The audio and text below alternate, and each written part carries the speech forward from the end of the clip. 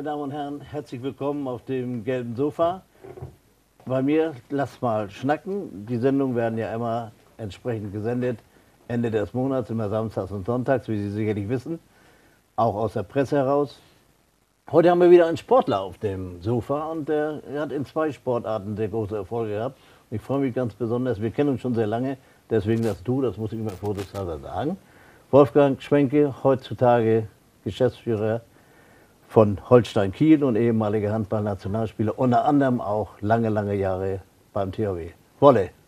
Moin. Moin, moin. Schön, dass du da bist, freue mich. Vielen Dank für die Einladung. Gerne geschehen. Das ist natürlich im Moment eine brisante Angelegenheit, aber da kommen wir später darauf zu sprechen. Ja. Du bist geboren in Flensburg. Hast dort, Flensburg ist auch eine wunderbare Stadt. Hast du dort eine schöne Jugend verlebt? Nee, ich habe ja nicht die Jugend in Flensburg verlebt. Ich bin ja eigentlich nur da in Flensburg geboren, dann Bad Schwartau aufgewachsen Ja. Und dann, äh, dann das Handballspielen im Profibereich, dann schon mit 18 Jahren hier beim THW Kiel in Kiel eben. Ja, aber wegen deiner, sag mal, in deiner Jugendzeit schon Ambitionen gehabt zum Sport oder? Absolut. Also ich bin, Ja. ich habe vorher Leichtathletik gemacht Ja. äh, und das dann bis zum 16. Lebensjahr parallel zum, äh, zum Handball und da war ich eben auf dem Entscheidungsweg Zehnkämpfer oder Handball und ich Ja. habe mich dann für Handball entschieden und äh, habe es bisher nicht bereut und werde ich auch nicht bereuen. Ich habe eine ganz tolle Zeit gehabt und äh, so fing es dann schon in der Jugend an mit Jugendnationalmannschaft, nachher Juniorennationalmannschaft, Herrennationalmannschaft und eben beim THW Kiel. Ja, gleich Lange Jahre. Ja, ja, das ist ja toll. Äh, Zehnkampf ist natürlich, äh, ich habe ja Willi Holdorf, den kenne ich auch sehr gut, den Ja. kennst du ja kennst du auch sehr gut. Und das ist natürlich äh, schon eine Klasse für sich. Nicht? Hättest du denn so äh, auch Ambitionen gehabt, damals, was heißt Ambitionen, auch die, die technischen Voraussetzungen für diese vielen Sportarten innerhalb des Zehnkampfes, das ist ja nun sehr, sehr, sehr vielseitig. Nicht? Das stimmt, aber ich habe ja auch dann schon äh, Fünfkampf gemacht. Ich war ja auch Stadtjugendmeister im, im, im Leichtathletik dann schon in Bad Schwartau und äh, war da auch im Verein. Und äh, mir hat das aber das Gesellige mit einer Mannschaft besser gefallen. Auch die sozialen Komponenten, die da eine Rolle spielen, hat mir der Mannschaftssport einfach besser gefallen. Und so ist eben nicht dazu gekommen. Aber ich habe natürlich größten Respekt vor der, vor der Sportart Zehnkampf oder dem Leichtathletik, weil das dem Körper alles abverlangt. Aber die Trainingsmethodik hat mir einfach auch beim, beim Handball geholfen. Schnelligkeit, Ausdauer, Kraft, ähm, Sprungkraft. Ähm, das sind, sind alles gute, gute Dinge gewesen, die ich aus dem Leichtathletik mitgenommen habe. Das glaube ich gerne. Und äh, auch das, äh, das Hinfallen, das muss man ja auch lernen. Nicht? Ja, das, Das musst du ja auch üben. Ne? Das ist aber manchmal kommt man nicht mehr dazu. Das ist trotzdem schmerzhaft. Ja, ja, gut, okay, Egal, was man lernt. Ja, das. Aber man muss immer versuchen abzurollen. Ne? Ja, das, das ist, das ist das Optimum. Ne? Aber Genau. kriegt man nicht immer hin. wollte ich nicht- ist nicht immer so leicht. Ne? Nein. Ähm, nach deiner Schulzeit hast du eine Lehre begonnen. Ja, also ich habe ja auf dem Friedrich-List-Gymnasium in Lübeck habe ich äh, mein Abitur gemacht. Das ist ein Wirtschaftsgymnasium und habe dann danach ähm, eine Ausbildung als Krankengymnast gemacht. Danach bin ich dann zur Bundeswehr, habe meine Wehrpflicht erfüllt und habe dann nochmal angefangen zu studieren mit, mit 27 und habe äh, Diplom-Betriebswirt äh, gelernt und, äh, und so war es dann so, dass ich natürlich äh, äh, da nachher auch mein Diplom gemacht habe ähm, und bin Betriebswirt dann sozusagen auch als ähm, äh, als Kieler dann sozusagen und bin dann in die freie Wirtschaft gegangen, Ja. ähm, in einem Medienunternehmen. Und ja, dann bin ich noch mal kurzzeitig Profitrainer gewesen bei den Rhein-Neckar-Löwen, zwischendurch acht Jahre Ja. Altenholz-Trainer gewesen. Da kommen wir gleich nochmal drauf. Das, Ja. war, da- das war ja dann der, die, die sportliche Seite. Ne? Ja, Und du warst ja dann sehr, sehr lange von. Sparta war ja auch damals äh, hochklassig, ne? Ich meine, wie Ja. du dort gelo- gelebt hast, meine ich jetzt. genau. Ich hab, bin als Jugendspieler da ja dann sozusagen auch zum Jugendnationalspieler gegangen. Dann war die erste Herren zu der ma- damaligen Zeit zweite Bundesliga und habe dann als Jugendspieler schon zweite Bundesliga gespielt. Und das war natürlich ganz toll. Damals war noch Heinz Jakobsen, ist dann auf mich aufmerksam geworden. Ja. worden, ist dann zu uns nach Hause gekommen und war für mich natürlich ganz toll. 7000 Zuschauer damals noch, heute ja, war ja vor der Erweiterung der Ostseehalle und, und äh, für mich natürlich ganz toll, Manager von, von, vom THW Kiel zu uns nach Hause und, Ja. äh, und hatte mich dann gefragt, ob, ob ich nicht zum THW Ki- Kiel kommen wollte. Und Ach das war natürlich war schon toll. Dann war das Heinz. Den habe ich auch hier gehabt. Ja, siehst du? Heinz also- habe ich auch gehabt. Ja. So sind die Verbindungen immer wieder da. Ne? Genau. Also du warst von 76 bis, bis 87 war der beim THW elf Jahre? Nee, ich bin 78 bis, nee, 87 bin ich, 1987 bin ich zum, zum THW gekommen und bin bis 2001 geblieben. Ach so, so lange war das. Ja, also nicht die Zeit ja, ach, davor. du warst bei Schwartau vorher, ne? Bad Schwartau, genau, Ja. und bin dann 87 zum THW gegangen. 1987 Ja. bis 2001. Okay. Also, und wie gesagt, zum THW Kiel hat es ja schon gerade gesagt, zu Hans Jakobsen, oder durch ihn, der ist auf dich aufmerksam geworden und äh, insofern bist du dann beim THW Kiel gelandet. Aber Hans Jakobsen war ja damals äh, beim THW auch ein ganz, ganz, ganz wichtiger Mann, nicht? Ja, absolut. Auch Ohne Heinz, glaube ich, ging damals beim, beim THW Kiel gar nichts. Er hatte die Fäden alle in der Hand. Ja. Und äh, da war es ja noch Verein, dann wurde es ja nachher eine GmbH, ähm, 93, 94, äh, Ja. wo wir den ersten Meistertitel Ja. geholt haben. Da gab es ja viele Veränderungen dann noch. Da gab es viele Veränderungen. Ja, ja, und dann kam, kam da so ein, so, ein, so, ein, kleiner Bruch oder so, aber der ja nicht gerade sehr unangenehm war. Nicht? Mit, mit Uwe jetzt zum Beispiel. Ja, äh, kann ich ja nur als Außenstehender immer sagen, kann, Ja. kann ich nicht, nicht viel zu sagen, ist auch nicht äh, mein Thema. Nee, nee, aber das haben die beiden hier auch ganz kurz angerissen. Ich wollte da auch Ja. nicht drüber sprechen. Aber wie gesagt, die sind ja auch nicht mit, mit, mit Krach auseinandergegangen, sondern vernünftig und ordentlich, wie man das als erwachsener Mensch macht. Ne? Ja, so lala, ne? Also ich glaube Ja. schon, wenn, wenn du so dein Leben lang äh, da an dem Verein hängst und dann auf einmal äh, kurz über lang, damals war ja noch das, das, ähm, die Situation, Heinz Jakobsen eventuell DHB-Präsident. Ja. Und dann ist er, äh, ist er irgendwie nicht geworden und zurück ging dann auch irgendwie nicht. Für Verein sicherlich auch nicht ganz einfach so die Situation, ist aber immer dem Sport verbunden geblieben. Das finde ich großartig. Ich habe zu Heinz heute auch noch immer einen sehr Ja. guten Draht und äh, Schön. und da ist es immer ganz schön, wenn man solche alten Verbindungen auch pflegt. Das, ist auch, das ist auch ganz wichtig. Das finde ich allerdings auch. Äh, kannst, du, Wolle, kannst du mal so ein bisschen was über die Titel, die du äh, mit dem THW errungen hast? Mit Rhein-Neckar-Löwen warst du ja immer Trainer, ne? Ja. Und Altenholz ja auch lange, lange. Ja. Das habe ich immer sehr gut verfolgt. Und, äh, aber mit dem THW hast du eigentlich Titel geholt, ne? Genau, ich bin fünfmal deutscher Meister geworden. Fünfmal. Genau, und dann, äh, ich glaube, viermal äh, Pokalsieger, zweimal Europapokalsieger und habe damals die Champions League im Endspiel gegen Barcelona 2000 haben wir äh, ganz knapp verloren. Das war, Ja. das war dann äh, ein bisschen enttäuschend. Aber ich habe eine ganz, ganz tolle Zeit beim THW gehabt, erinnere mich gerne daran zurück. Ja. Es sind viele Weggefährten, die ich heute auch immer noch treffe und sehe. Ja, und schön. also da fühle ich mich sehr, sehr wohl, dann auch hier in Kiel, in dieser Region. Weil es sind ja viele Leute, die das dann ja auch weiter begleitet haben. Ob ich in Altenholz Trainer war Ja. oder bei den Rhein-Neckar-Löwen Ja. Trainer war, wo mich auch viele Kieler besucht haben und so. Auch das war ein ganz tolles Jahr und in Altenholz möchte ich es auch nicht missen.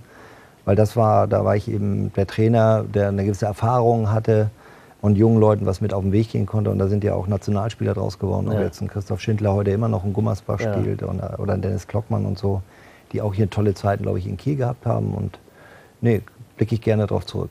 Das glaube ich. Ja, und äh, wie gesagt, die, die, diese sportlichen Veränderungen von da nach da. Und war das gewollt oder hat sich das äh, irgendwie ergeben? Naja, Weil das sind ja nun Sprünge vom Norden in den Süden, ne? Ja, absolut. Aber ich war ja nun nicht Profitrainer bei Altenholz, sondern ich hatte ja neben, das war ja eine, eine Sache, die ich ja neben, neben meinem eigentlichen Beruf gemacht habe. Ja. Ich habe ja äh, für ein Medienunternehmen gearbeitet und habe dann äh, nebenbei war ich Trainer in Altenholz, hatte dann meine A-Lizenz gemacht, also die höchste Trainerausbildung beim, beim Handball. Und habe dann ein Angebot bekommen von, von den Rhein-Neckar-Löwen. Und wenn du eine A-Lizenzausbildung machst und kriegst so eine Chance, eine Spitzenmannschaft zu trainieren, dann kannst du entweder weglaufen Ja. oder sag, gib mal her, das Ja. interessiert mich. Und äh, ich habe ja nun acht Jahre als Trainer da Erfahrung gesammelt in Altenholz. Dann auf einmal so eine Mannschaft mit vielen jungen Talenten und so äh, äh, zu haben, ist natürlich was anderes als eine absolute Spitzenmannschaft zu Ja, übernehmen. Und da habe ich gesagt, das hat mich gereizt und habe dann meinen meinen Job dann auch gekündigt und habe gesagt, ich gehe da runter, ich mache das, meine Familie ist hier geblieben und war eine, eine super tolle Zeit. Ich habe ganz viele tolle Menschen da unten kennengelernt und wir waren erfolgreich. Ich habe sie auf Platz 11 übernommen. Ja. Wir waren Champions League Halbfinale, wir waren äh, in Hamburg im Final Four DRB-Pokal und wir sind Dritter geworden, also direkte Qualifikation für die Champions League. Also ich habe ein Bombenjahr da gehabt. Ja, ein Jahr warst du da. Ein Jahr war ich. Oder wenn man so will, in Monaten rechnet, neun. Das war nur eine Jahr. Aber Ja, wenn man so einen Reiz bekommt und sagt, äh, dann will man, dann, dann gehöre ich nicht zu den Leuten, äh, die sagen, ach hätte ich mal, äh, wenn man 20 Jahre später, da hätte ich, hätte ich das mal machen können. Die Situation wollte ich nicht haben. Meine Frau hat mich ein bisschen für verrückt erklärt, aber sie hat es mitgelebt und alles gut. Ja, gut, das war natürlich eine, große Erfahrung, die du da gesammelt hast. Ja. Und natürlich auch sehr viel Spaß gehabt und vor allen Dingen natürlich auch sehr erfolgreich. Ja, im Da haben, sie, Sport- gesagt, da haben sie haben einen richtigen Mann eingekauft. Ne? Ja, da gehören ja viele Komponenten dazu. Also auch die Rhein-Neckar-Löwen haben ein ganz tolles, auch ein ganz tolles Umfeld, muss man sagen. Die haben eine gute Pressearbeit gehabt. Wir haben da viele Leute, die auch dazu beigetragen haben. Das ist ja nicht mehr ein Erfolg eines Einzelnen, sondern immer einer Gruppe. Und das hat wirklich super funktioniert. Und, äh, und wenn man Leistungssport macht, dann wird man an den Erfolgen gemessen, nicht Ja. an Mittelmäßigkeiten. Genau, das- Oftmals leider, ne?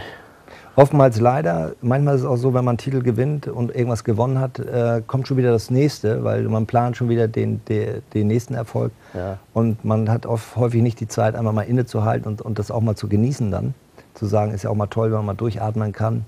Und äh, das haben wir beim THW immer gut hingekriegt. Nach der Saison, wenn wir Meisterschaften gefeiert haben, Ja. haben wir richtig gefeiert, wie sich das gehört. Ja, ja. Und haben jede Menge Spaß gehabt und dann haben uns das neue Ziel äh, vorgenommen. Und äh, wenn man selbst so in der Verantwortung ist, hat man ja ganz, ganz viele andere Dinge im Kopf dann auch. Äh, da ist, sind die Spieler ja mehr nur auf das Spiel fokussiert und auf Ja. ihren Körper. Und als Vereinsverantwortlicher hast du halt noch mal ein paar, ein paar mehr Dinge zu leisten. Äh, Das Ende des Jahres, war es schmerzhaft oder war es gewollt oder musste es einfach sein? Ich glaube, das gibt immer so einen, äh, so einen Zeitpunkt, wo es, äh, wo es dann einfach auch gut ist. Also ich Ja. habe ja äh, eine ganze äh, lange Zeit beim THW Kiel und nicht irgendwo in einem Verein, in einem mittelmäßigen Verein. Der, der THW war eine nationale Top-Adresse und nachher auch eine internationale Mhm. Top-Adresse. Und da habe ich viele Spieler kommen und gehen sehen. Und damals mit Noka Söder-Rusic haben Ja. wir auch immer ein offenes Wort gepflegt, einfach zu sagen, er wolle ein Jahr, äh, glaube ich, ist noch ganz gut. Und dann musst du mal gucken, ähm, was man dann macht. Ob man, da war, war ich aber nicht derjenige, der dann noch mal irgendwo anders in die Bundesliga wollte oder jetzt unbedingt diesen Sport weiterführen wollte. Ich glaube, tolle Zeit gehabt und äh, nach dem THW wollte ich jetzt nicht am, sag ich, gegen Ende der Karriere oder im Herbst oder ich war ja schon im, im Winter meiner Ja. Karriere, dass man dann noch mal irgendwo anders äh, Bundesliga schnuppert. Da muss man sich dann auch m, den neuen Lebensabschnitt widmen Ja. und einfach dann auch sehen, dass seine berufliche Ka- Karriere nach vorne Ja. zu treiben.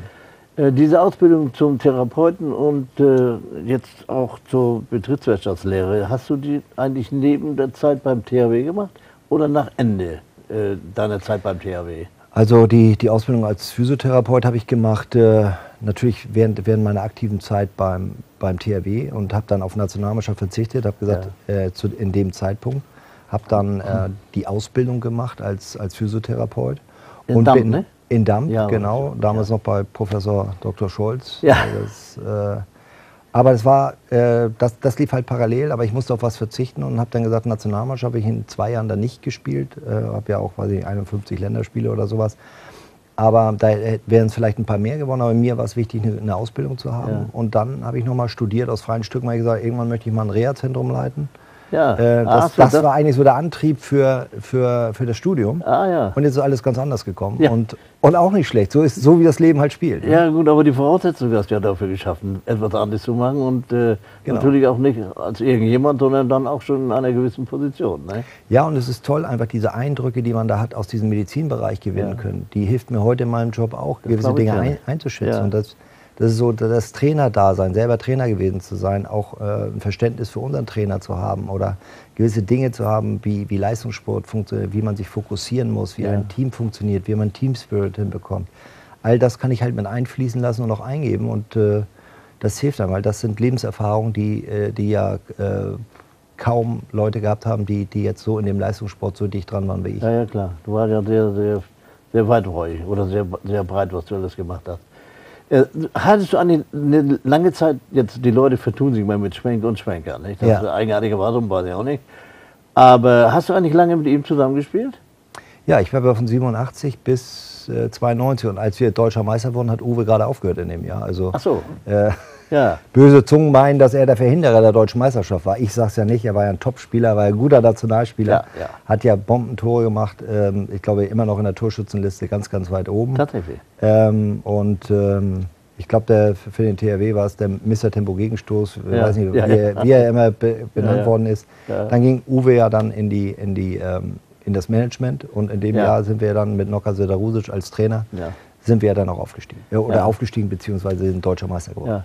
Äh, Olympiade, nochmal drauf zurückzukommen. Warst Ja. du auch mit? Ja, Du in war- Barcelona. War seid ihr Zweiter geworden oder wie war das jetzt? Nee, das war Uwe Los Angeles. Da ist er, Das meine ich jetzt. Da ist er Zweiter geworden. Da war ich ja, ich bin ja ein bisschen jünger. Ne? Ja, also ich ja. bin Jahrgang 68, Uwe, weiß ich nicht, 63 oder so. Ja, ja. Und äh, ich war in Barcelona. Mit, Ach, damals Barcelona. mit Horst Bredemeyer. Ne? War nicht so erfolgreich, sondern glaube ich Neunter Ja. oder so geworden. Oder, ähm, war ein bisschen chaotisch, weil er da mittendrin, Bredemeyer, seinen Job dann hingeschmissen hatte und dann war ein bisschen Trainer los, die Mhm, Ja. letzten Spiele. Danach wurde ja ein Neuaufbau da mit der Ja. Nationalmannschaft gemacht. Da war ich nochmal vor Olympisches Turnier dabei. Äh, Atlanta hatte mir im Olympiajahr aber die Ja. Achillessehne gerissen. Mhm. und konnte daran nicht teilnehmen. Also nationalmannschaftstechnisch war eigentlich mein größter Erfolg auf Island ja. mit, dem, mit dem vierten Platz bei der Weltmeisterschaft. Ja. Und das war eigentlich so der größte Erfolg für die deutsche Nationalmannschaft mhm. nach 78, wenn ja. man so will. Weil das war natürlich top, äh, da Vierter zu werden, weil lange Zeit war, war ja eine Durchstrecke bei der Nationalmannschaft. Ja, schöne Erlebnisse, ne? Herrlich. Ja, also ich. natürlich von dem Land Island selber. Eine Weltmeisterschaft zu erleben ist da, wo alle Medien, Presse, alle sich auf eine Sportart konzentrieren. Und da ist Olympia natürlich wieder was ganz anderes. Ja. Der Reiz für den Sportler natürlich, alle Weltsportler äh, kennenzulernen, ja. zu sehen und mit denen auf einer Ebene zu sein. Das ist natürlich der Reiz äh, Olympia. Ja.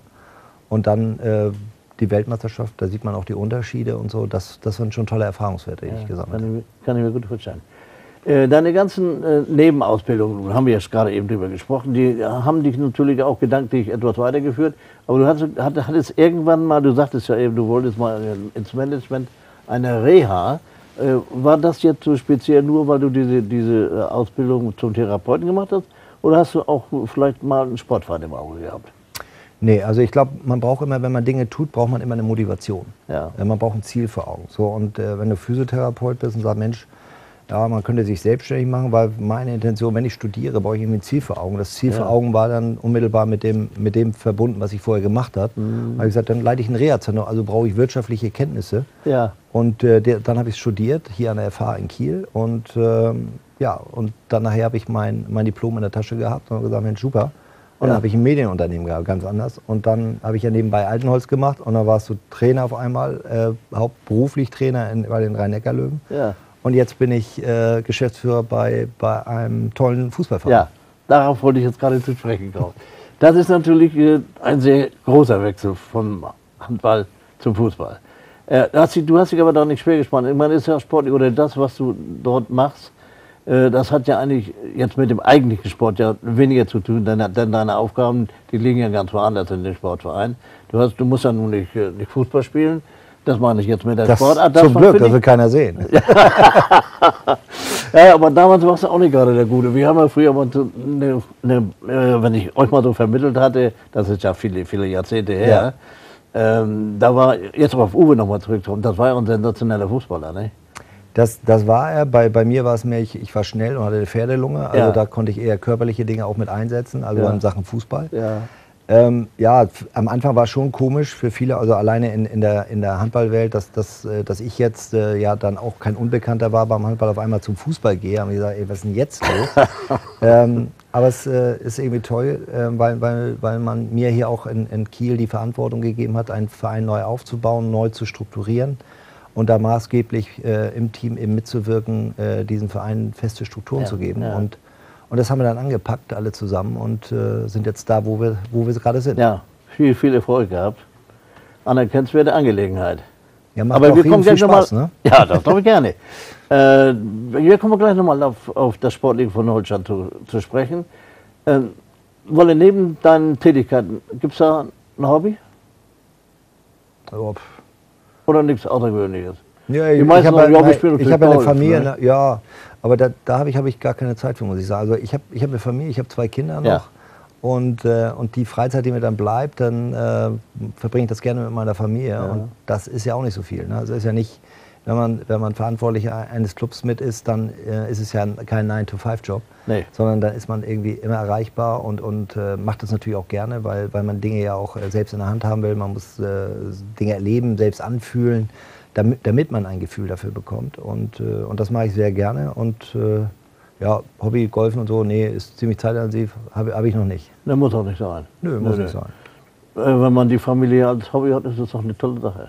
Ja, dies soll bitte nicht kein falscher Zug sein, dass es nur ein Hobby ist, sondern äh, aber es ist natürlich die wenige Zeit, die ich habe, die verbringe ich dann natürlich auch gerne mit meiner Familie. Völlig klar. Wie gesagt, das ist ja, ja nicht nur eine kleine Sache, die du machst, du bist mit dem Kopf praktisch immer bei deinem Job, mehr oder weniger.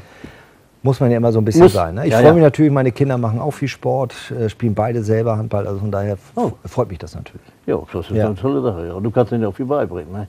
Ja, wenn man ganz viel Zeit hat, dann kann man ja, ganz viel beibringen. Ich war mal Trainer so von, äh, von meinem Sohn dann mal, so anderthalb Jahre. Hat auch Spaß gemacht, wenn man so, so kleine äh, Jungs dann anfasst, so wie, wo man sagt, Mensch, super, wie die sich, äh, wie die sich so händeln lassen und äh, wie, die machen das zweimal, die machst es einmal vor, die machen es Ja. zweimal und können es. Ja, Ne, das, ja. Da haben wir in unserem Alter schon schwieriger, neue, neue Dinge zu erlernen. Allerdings, Aber im Jugendbereich finde ich immer phänomenal. Haben Sie beide was von dir äh, ver, vermittelt be- bekommen oder, oder haben Sie es eigentlich oder haben Sie es geerbt, sagen wir es mal so? Was- ja, weiß ich nicht, das wird sich ja zeigen. Die sind ja jetzt noch im, im äh, äh, C-Jugendbereich und D-Jugendbereich. Mhm, Also mhm. da läuft ja noch viel Wein Ja, äh, ja. den Berg runter. Also das muss man ja mal gucken, wie ehrgeizig man da dran bleibt. Ja. Und äh, haben, die ja Verletzungen, da spielen ja ganz viele Dinge. Die haben Spaß dran, freut mich, aber die werden nicht unterzwingen, weil ich es mal gemacht habe, äh, leidenschaftlich gerne, dass, dass ich jetzt sage, ihr müsst jetzt unbedingt Handball spielen und es muss leistungsbezogen sein. Ähm, die haben Spaß dran und dann Ja. guckt man nachher mal, was dabei rauskommt. Ja, ist doch besser so. Irgendwas Zwingendes zu tun bei Kindern ist nicht gut. Nein, Nee, das überhaupt sie nicht. Das entwickelt sich ganz von alleine. Entweder wird's was oder wird's nicht. Vielleicht, Genau. Vielleicht landen sie irgendwo mal an der anderen Sportart. Aber da gibt es von meiner Seite oder von unserer Seite, von meiner Frau her, keinen kein Druck, dass man da Nee. irgendwie sagt, du musst oder so. Die haben einen sehr hohen eigenen Antrieb und Ja, das, das ist sind ja schon mal gute Voraussetzungen. Das ist, das ist sehr schön. Ein ganz besonderes Ziel hast du vor Augen? Jetzt äh, beruflich? Ja, Ja? Ziel habe ich immer. Ziel hast du immer. Ja. Erzählst du uns das? Ja, wir sind ja gerade in so einer schönen Situation. Also wir haben ja mal gesagt, äh, es ist immer schwierig darüber zu reden. Jetzt haben wir, jetzt haben wir ein Relegationsspiel zum Ja. Aufstieg in die Ja. zweite Bundesliga. Und ähm, wenn man das hinbekommen würde, wäre es natürlich großartig, nicht nur, weil man selber sich so solche Ziele setzt, sondern ich glaube einfach auch für Fußball in Schleswig-Holstein. Wir haben lange hier keinen Zweitligisten gehabt. Äh, ich sag mal, wir sind so das kleine Gallierdorf in Sachen Fußball in Deutschland, in Schleswig-Holstein. Und ähm, äh, Es wäre natürlich eine Freude zu sehen, ähm, wie, äh, wenn man das hinbekommt, hier ein, ein Profifußballverein zu sein. Weil wir merken jetzt gerade, auch gerade des Erfolges, die letzten Spiele, wir haben ein ausverkauftes Haus, wir haben äh, Leute, die kommen von überall her aus Schleswig-Holstein und kommen zu uns zu den Heimspielen. Das finde ich großartig, wie, sich, äh, wie sie äh, uns als, als Club unterstützen. Und das ist ja auch nicht selbstverständlich. Nee, natürlich Erfolg äh, bringt Zuschauer, das, das ist ganz klar und das macht natürlich auch Spaß. Vor allem ist es auch die größte, für dich die größte Motivation. Das ist, das ist ja ganz logisch. Wir haben so viel Erfolg, da müssen wir auch eine Menge tun. Jetzt kommen wir mal dazu, zu der Menge tun. Ja. Ich meine, das ist jetzt äh, unglücklicherweise eine Aufzeichnung gespielt. Also heute ist der 27, muss da mal den Zuschauern sagen. Äh, eine Aufzeichnung und die wird am Samstag gesendet. Und am Samstag habt ihr schon einen Tag davor gespielt. Das heißt also, Ja. so, wir können jetzt nur mutmaßen in der Ja. Hoffnung, jetzt, äh, dass das klappen sollte. Mhm. Wenn ihr jetzt gewinnt und äh, ich sage einfach mal, wenn ihr tatsächlich aufsteigen würdet, dann kommen natürlich viele Aufgaben auf dich zu. Hast du im Kopf äh, neue Spieler dann einzukaufen? Der Kat, der Katschok geht weg? Ja. neue Spieler einzukaufen und wir haben schon mal darüber gesprochen, äh, Stadionerweiterung und Lichtverhältnisse verändern fürs, fürs Flutlicht. Kannst du da mal so ein paar Worte zu sagen? Ja, ich würde es mal in zwei Blöcken teilen. Einmal Ja. der, der sportliche Bereich und einmal der, was so administrative Dinge angeht. Mhm. Also Stadionerweiterung auf 15.000, Flutlicht, ähm, Umkleideräume müssen umgebaut werden, Medienplätze müssen Ja. angeschaut in ausreichendem Maße. Da gibt es genaue Vorschriften äh, von der DFL. Ja. Da haben unsere Architekten und die DFL sich ausgetauscht. Wir haben da Pläne und wir haben Verfügbarkeiten, äh, wenn man das eben so erweitern würde, eben einfach mal ähm, ähm, äh, dementsprechend mal erarbeitet. Ja. Äh, weil wir haben ja auch nur ein kurzes Zeitfenster. Ne? Wenn Ja. es uns dann gelingen sollte, haben wir acht Wochen, da geht diese neue Saison weg, Ja. äh, schon wieder los. Wir müssen es nicht alles zum ersten Spieltag, aber der Ehrgeiz ist natürlich da, auch die Erweiterung zum ersten Spieltag hinzubekommen, weil das sind natürlich auch Einnahmen, die wir auch, auch brauchen, zusätzliche. Einnahmen, weil wir wollen natürlich auch dann in die Mannschaft investieren, klar. Aber ähm, zum jetzigen Zeitpunkt, gerade wo das, wo das letzte Spiel dann noch vor der Tür steht, müssen Ja. wir nicht über, über, äh, über, über äh, neue Mannschaftsglieder sprechen. Jetzt haben wir eine tolle Mannschaft. Ja. Und ab dem dritten kümmern wir uns dann wieder darum, äh, was, was dann für die neue Saison passiert. Ja, gut, okay, darüber wollen wir auch nicht sprechen. Das Nee. bringt natürlich auch viel Unruhe mit sich. Jetzt ja, von- jetzt es gibt immer Veränderungen. Äh, Leute wissen ja sprechen. schon, die, die aufhören und so. Also von daher ist, ist da gibt es ja Veränderungen, Ja, ganz ja. normal. Äh, so von der Hochwertigkeit von Spielern, hast du dir da schon mal Gedanken gemacht, dass du sagst, du vielleicht ehemalige Erstligisten oder so, die so äh, verfügbar sind oder, oder, oder vielleicht auf der Liste stehen, irgendwo einkaufen zu können? Das, Naja, sind, das sind natürlich reichliche, reichliche Mittel. Also man muss sich das ja nicht so vorstellen, dass ich jetzt mit dem Einkaufszettel losgehe, sondern Nee, nee. das ist ja so, dass, dass wir ein Trainerteam haben, das Ja. super miteinander funktioniert, die Ja. in der Vergangenheit bewiesen haben, dass sie eine tolle Mannschaft äh, aus, aus äh, sportlichem Ehrgeiz, aus, aus Können ähm, und aus Entwicklungspotenzial und sozialen Komponenten eine, eine sehr gute Mannschaft zusammengebaut äh, Mhm. äh, haben. Dann äh, der sportliche Leiter wird seinen Teil dazu beitragen und das ist, ist nachher auch eine Teamentscheidung, ja. wo man sagt, wie, welche Leute möchte man wo auf welcher Position haben, wer ist im Ranking ganz oben und dann guckt man eben und spricht diese Leute an, die, die mhm. wir glauben, die unsere Mannschaft nach vorne bringen würden. Und so baut sich dann nachher eine Mannschaft zusammen. Ja. Ne? Das muss natürlich auch alles passen, das weiß man ganz genau.